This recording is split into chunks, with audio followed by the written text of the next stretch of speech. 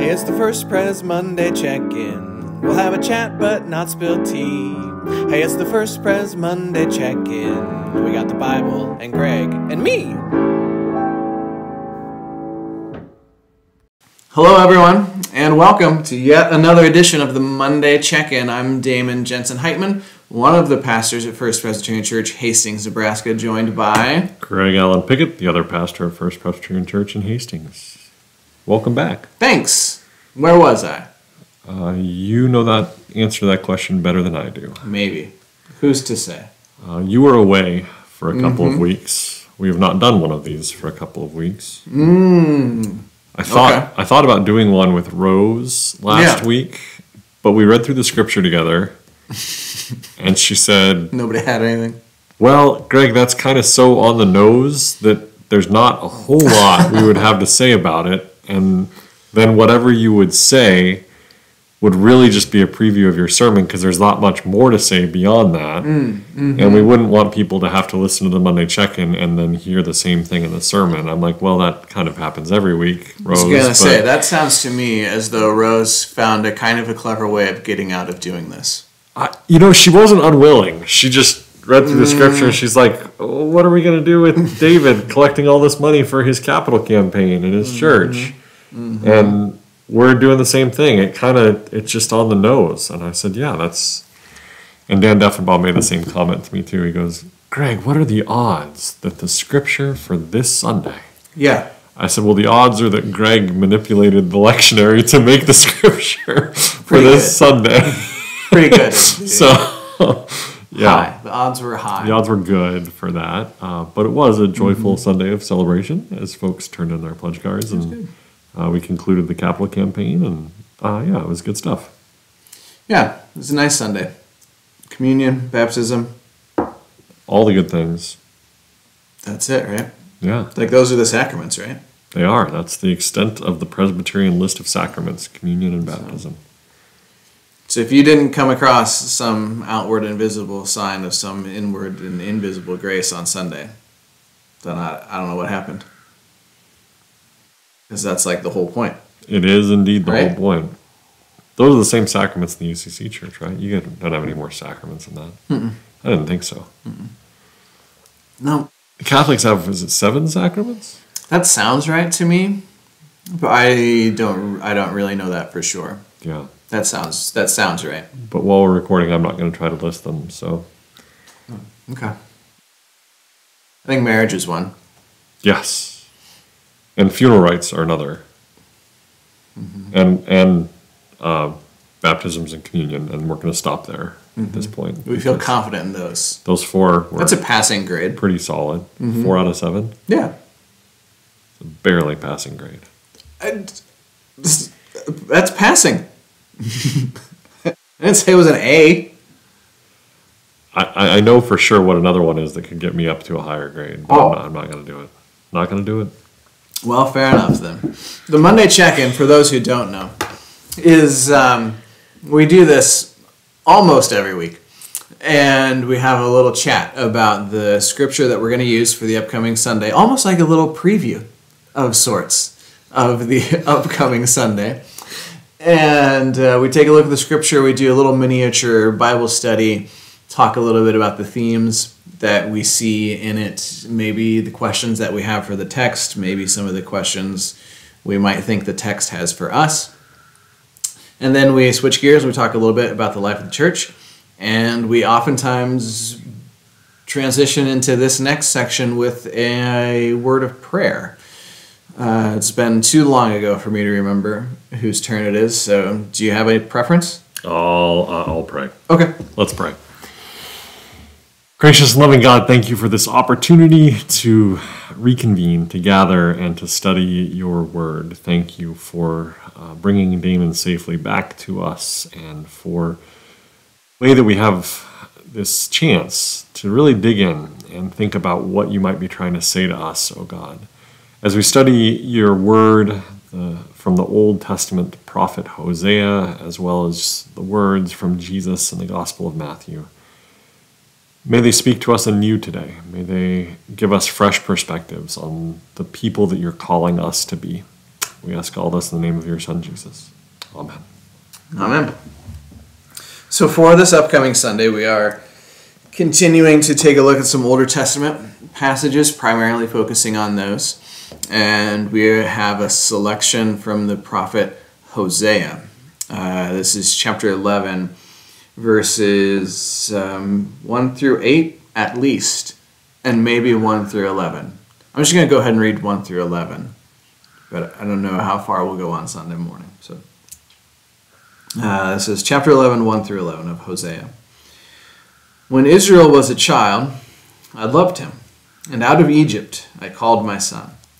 The more I called them, the more they went from me. They kept sacrificing to the Baals and offering incense to idols. Yet it was I who taught Ephraim how to walk. I took them up in my arms, but they did not know that I healed them.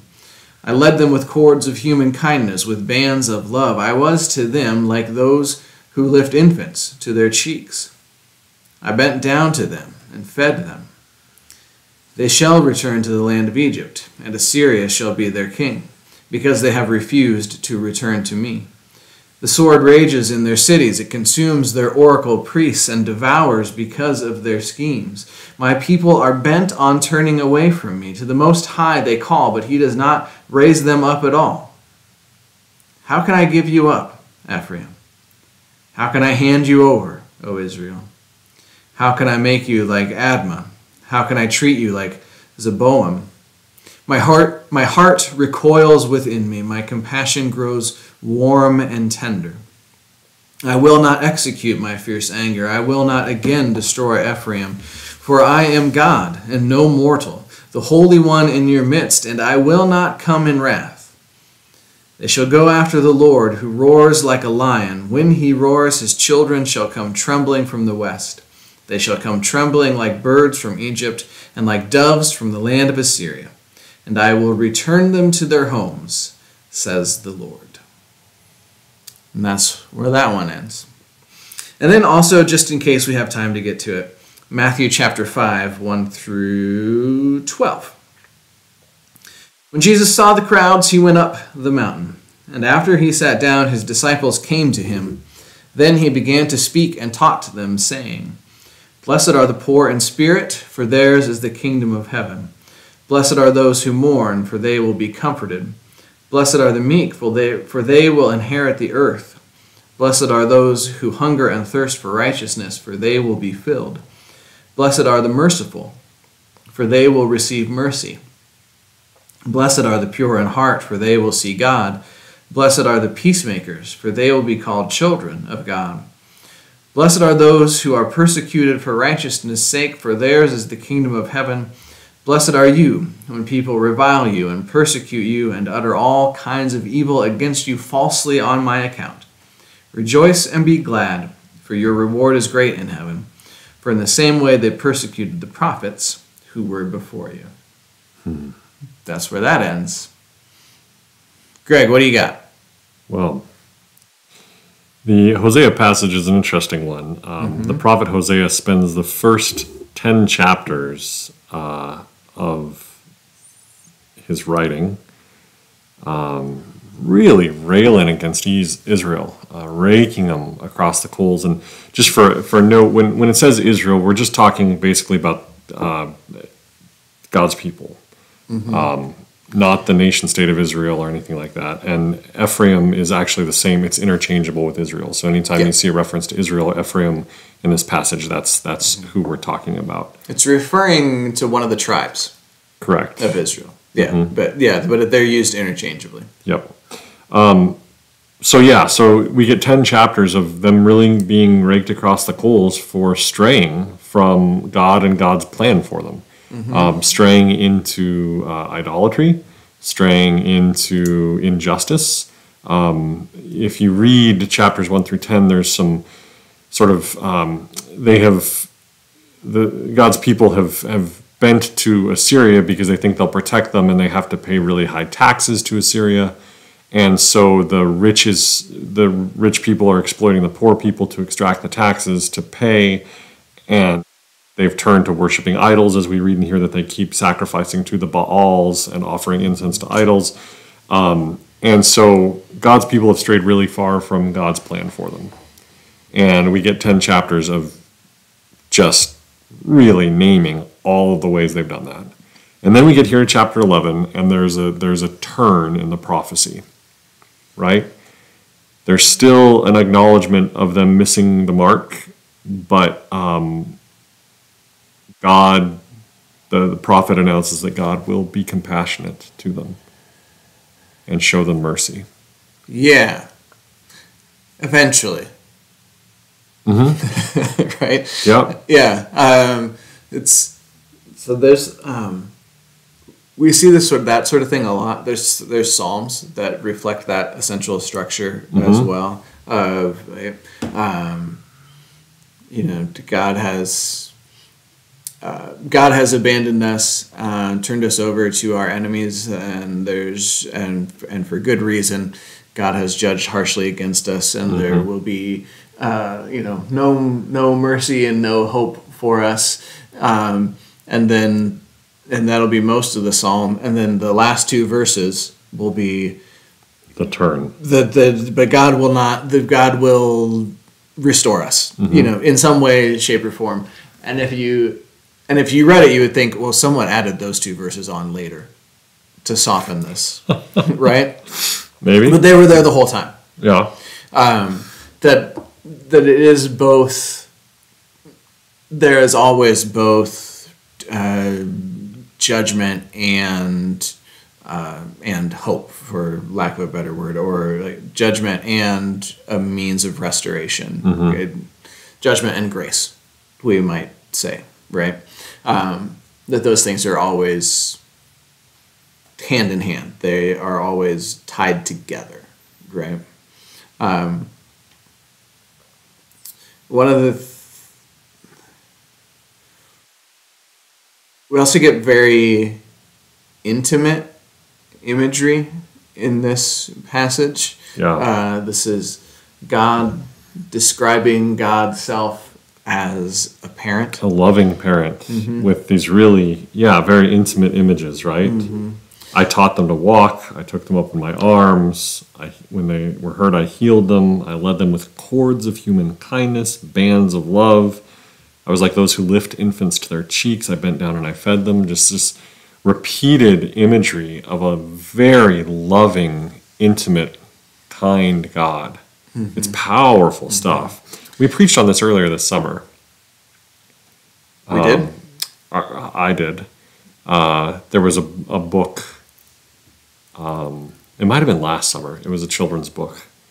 Um, and it talked about the love of a parent to a child. And I referenced this passage. Um, yeah. Yeah, and so the the anger that God experiences is rooted in this comes from this place of love Yeah. and and having felt betrayed by their beloved Yep. essentially, right? Uh, in the first three chapters, Hosea uses um, a metaphor of an unfaithful marriage to illustrate this relationship between Right. God and the people of Israel, and um, and the people are being unfaithful Right. to God, and it sort of breaks God's heart Yeah. Yeah. that that they would do this, um, that they would, and no matter how much God calls, they don't, they don't come back.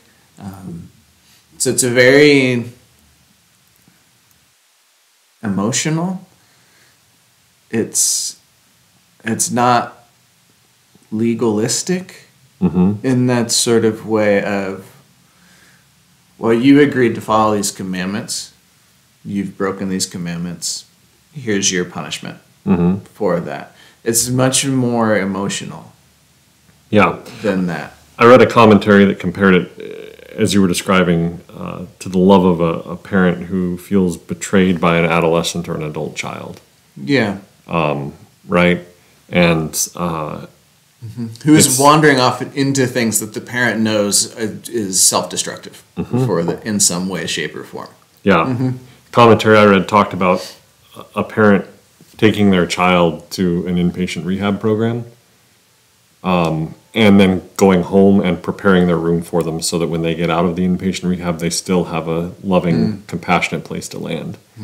Um, and how the amount of betrayal the parent feels that it's come to having to take their child to that, and yet the love persists, and the love ultimately is is what is. It's an act of love to take them there, and it's an act of love to go home and prepare a room for Yeah. them when they get home. And I thought that was a beautiful metaphor uh, for that, because that's kind of how this feels. That God has watched God's people um, sacrifice to idols and do all these things, and it breaks God's heart. Uh, and so they're going to go off. They're going to return to Egypt. They're going to submit to Assyria. Yeah. The sword will rage in their cities. And then God comes back, but but I can't give up on you. Right. I can't hand you over. yeah. And eventually I'll roar and you'll come back. Yeah, Right. A way will be made for you to come back. yeah, Right. Um, and so politically, this is happening in the shadow of Assyria. Um, I'm trying to remember the dates that it's. Hosea was maybe active like 750 to 720 yeah, um, BCE. And uh, Jeroboam II, who was apparently a great king, has died. And the next kings are not so great. They're also, Assyria is a huge and powerful empire.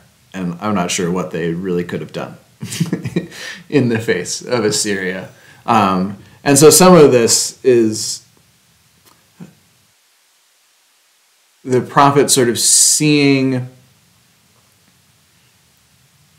in some ways perhaps seeing the writing that is on the wall um, that assyria is is devouring us it's going down. right Yep. um, and and the reason that Assyria is devouring us is because we haven't been faithful. Um, we haven't been faithful to God. We've um, we're not we haven't trusted in God. We've um, gone off maybe to to chase after other religions or um, whatever the case might be. Um, and so there's that. You know, so when the, there's the sword rages in their cities, that's Assyria, um, who is there doing that. So, um, just to, that's kind of the historical context of it. So, Yeah. So there's there's a fair amount to unpack there. Mm-hmm. Um, this Sunday happens to be All Saints Day.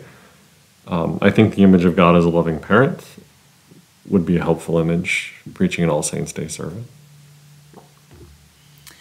Yeah, you keep saying that. I'm, I'm not as convinced of that. Fair enough. Um, yeah, there's certainly an appeal to the continued faithfulness of God um, within this passage, d- despite whatever our, our circumstances, our present circumstances may be.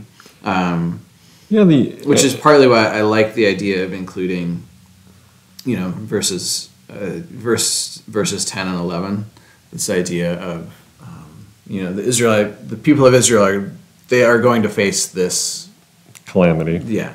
Um, at the end, but there will be an end to that, right? Uh, There will be an end to that pain, to that suffering, um, and there will be a renewal Yeah, of, of sorts. And I think that's a, th- a thing that we can hope for as well in the midst of our own pain and suffering or our own personal calamities. yeah, Um, that there will be an end. Like there is a way through this, um, and there will be an end to that in some way, shape, or form. yeah. I, I I also find the images of the intimate parent loving the child as being hopeful in the midst of grief. I think those were hopeful images for me um, in the times of my life where I've experienced grief. So I, I, I, there's there's there's material to work with there for an All Saints Day sermon. I think. Yeah, there is. I'm preaching on Sunday. I think that Greg is trying to assuage his own guilt of of this being the text. Uh, But I didn't. This this is the narrative lectionary text. I did not hand pluck this text out of the Bible and insert it into this Sunday as I did last week. There it is. last week, but it still fit within the larger context of the narrative that we were working on, uh, the, the text that we used last week. It just didn't happen to be the assigned text. This happens to be the assigned reading for this week, November, whatever that is, the 12th. Twelfth, I think. Um, So yeah, I'm not, no, I'm not feeling guilty at all. yeah. No, I think it'll be good. I don't know if we'll touch the Matthew passage or not. Yeah. Well, the, the Matthew, the, the, Sermon on the Mount, and specifically the Beatitudes, uh, to me always are a source of, of hope in the midst of trial. Yeah. And so, um, and they are often the assigned text for All Saints Day. Um, in the in the narr- in the Revised Common Lectionary, uh, I think at least two out of the three years, the Matthew five is is the assigned text for All Saints Day. So that's probably why I included that one because that one was more of the hand picked and dropped in. That was not on the narrative lectionary list. Yeah, and I mean, it, it contains this.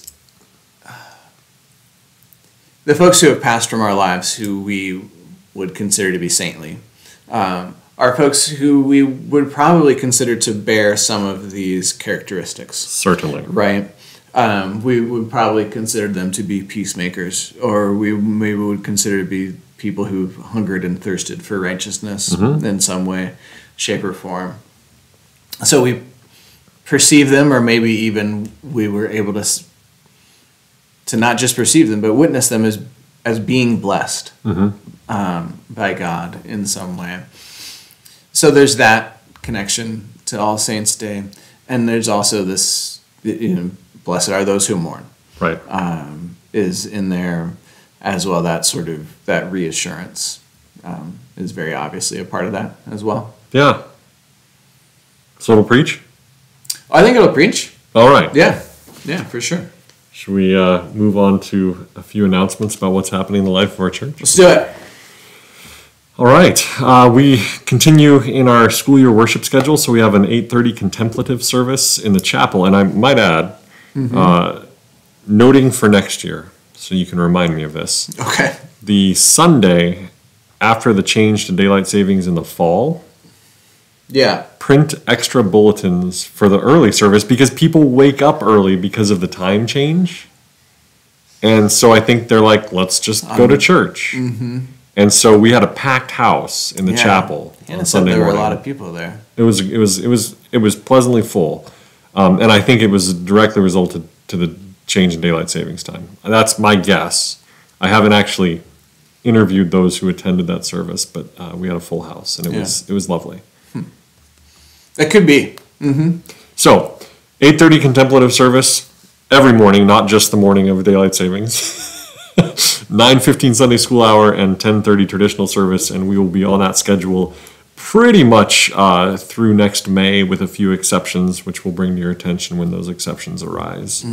Um, for example, Christmas Eve this year is also Advent. 4. you don't need to worry about that till December twenty fourth, but we're worrying about it already for you. So. Uh, but yeah, eight thirty contemplative, nine fifteen Sunday school hour, ten thirty traditional. Yep. Uh, at Forum this coming week, Dan Deffenbaugh, our scholar in residence, will be wrapping up um, his Forum series that's been taking a look at sort of the history and development of um, what we sort of think about as the nation state of Israel, right? Yep. Um, so he's been taking a look at the scriptures that we've been using on Sunday mornings uh, and taking and giving people an understanding of um, the the history. You know, we've talked about it: a cou- Northern Kingdom, Southern Kingdom, uh, Judah, Samaria, Jerusalem. You know, King David, Solomon, Temple, all those sorts of things um, within the scriptures. And so he'll be he'll be wrapping up um, what I think has been a really really interesting forum series Yeah. this coming Sunday. That's that's the November twelfth. And we recorded the one yesterday. Yep. Uh, we did not record the one the first week he did it, but Dan's gonna uh, very graciously go back and uh, redo that lecture for us in some format so that we've got those, and then that series will be posted on our YouTube channel um, and eventually on um, a little resource that we're creating that would provide those kind of adult ed resources in a easy to access and curated way. So we'll talk more about that later. Yep. So that's this coming Sunday for Forum. And the next Sunday, November 19th, Hannah Jensen Heitman, who is this year's artist in residence um, at First Pres, is going to be doing, she's going to start a series of forums taking a look at the cantata that she has written that will be offered in December. So, uh, so folks can kind of start to get a preview of the cantata titled "Bearers of the Divine" and learn from the artist. Uh, you know what what sort of things might they want to be looking for on December tenth? Themes, ideas, musical intrigues, um, all that sort of stuff. So that's November nineteenth when that forum series starts. So. Yeah, and that'll be great. Mm-hmm. Um, also, on Sunday, November 19th, immediately following worship, we will have our Hanging of the Greens service. Yeah. Uh, so we invite people to just uh, plan to stay an extra 30 minutes to an hour after worship to help us get our beautiful sanctuary and building decorated for the Advent and Christmas season. Mm-hmm. So please plan on joining us. So this Sunday, November 12th, is All Saints Day. Next Sunday, November 19th, is uh, we'll conclude service with the Hang in the Greens. That will also be the Sunday that we uh, announce the results of the capital campaign, uh, Sunday the 19th. So stay tuned for that as well. Um, we had a really blessed service on Sunday to collect those pledge cards and say a prayer of dedication over them, and uh, we're in the process of tallying them. We have a few more coming in, and uh, on Sunday the 19th, we will share those uh, those results with you as well. So. Yeah. But we're encouraged. Very encouraged. Yeah. Very encouraged. So thank you for your generosity. Uh, thank you for your faithfulness, and uh, we are full of gratitude. Mm-hmm. Absolutely. Yeah. So another thing to keep in mind because it's coming up, uh, December second, I believe, ten to one, we'll have a family Advent craft morning here at the church, um, and so the crafts I think are particularly designed for children, but um, I do lots of things that are designed for children, and they're great. So anybody could could show up and be part of it, or just show up and just you know just take in the joy of the gathering, right? Yeah. Um, so folks can come to the church and, and make some Advent crafts, decorations for this season. That's December second 10 to 1 o'clock. 10 in the morning to 1 o'clock in the afternoon. Yeah. Which is a Saturday. Did we say that? I don't think I did, but yeah, it's a Saturday. It should be a good uh, good day. And there's um, a little something special. If uh, if your kids come down to that, they'll uh, they'll be making crafts that they can give as Christmas gifts. They will also be given uh, a craft from the church uh, that they can wrap up and put under the tree. Um, Oh. Yeah. Oh yeah.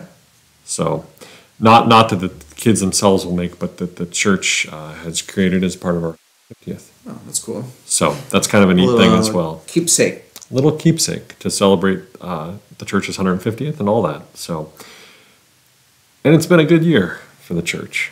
Yeah. It's been a good celebration of the 150th. Mm-hmm. So. What else? I think we can close in prayer. All right, let's do it. Loving and gracious God, we thank you for the ways that you have sustained us. We thank you for the ways that you have grown us. We thank you for the ways that you have called us to be your children, your faithful disciples in the world. We thank you for the ways that you have called us back, even when uh, we have gone wandering from those paths, from the directions, the choices that you would have us make in the world thank you, O God, for the for both your nurture and your challenge. In your gracious and loving name we pray.